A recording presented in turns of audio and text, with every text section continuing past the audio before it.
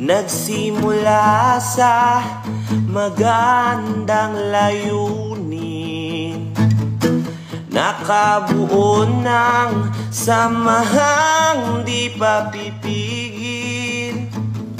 Hindi importante dito kung ano ang gamit mong motorsiklo. Pakikisama at respeto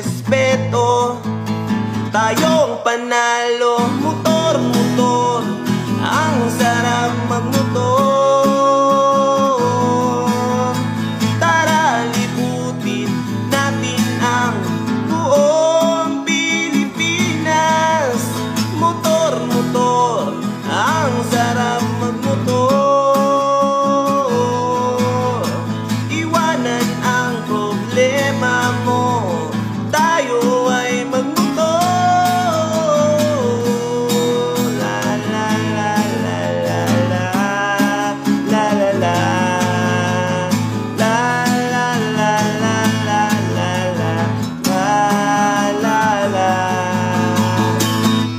Hmm.